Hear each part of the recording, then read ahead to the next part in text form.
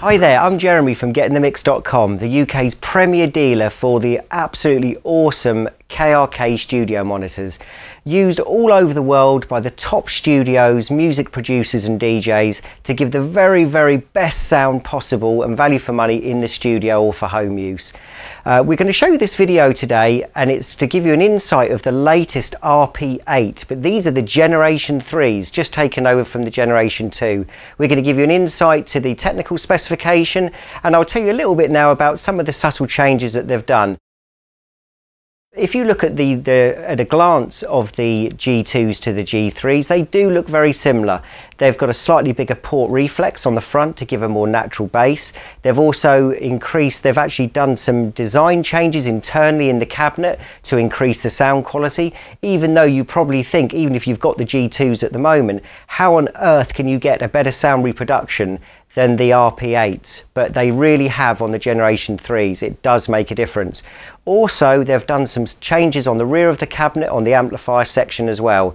They've also added a low frequency adjust as well. So not only have you got the high adjust that you had on the Generation 2s, with the Generation 3s, you've actually now got a low frequency adjuster on there as well, just in case you're bringing in a straight line level input without any EQs that you can adjust externally. You can tweak them to exactly how you want them to sound in the studio. But if you don't want to use all that, they sound absolutely awesome at flat response, as all the KRKs always have done. You cannot go wrong with those. As usual, they've got the bi-amp system, so you've got a separate amp driving the tweeter to the bass to reduce uh, crosstalk. Uh, all the other features that you know and love of the KRKs are still incorporated in these RP8 Generation 3s. So now we're going to show you a little bit about the speaker, um, show you the look of the speaker and the technical specification. The latest RP8 Generation 3s have a bi-amp system, basically a Class AB amplifier offering large headroom and low distortion. The twin amp system runs 75 watts to the bass driver and 25 watts to the tweeter. They feature a 1 inch soft dome tweeter which provides pristine clarity and extended response up to 35 kHz. The high frequency adjustment on the rear of the cabinet tailors the system for personal taste, while also on the Generation 3 compared to the Generation 2, you actually now have a low frequency adjuster as well. You'll notice on the front of the speaker, similar to the Generation 2s, you've got the front firing port. This increases low frequency extension while reducing boundary coupling. You'll also notice on the rear of the RP8 you've got multiple audio input connectors. You've got your XLR, you've got your quarter inch jack and RCA for complete universal connectivity for any studio environment.